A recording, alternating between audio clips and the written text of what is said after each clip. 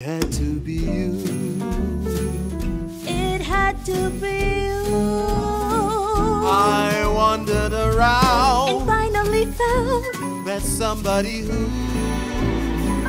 will always be there to give me a thrill.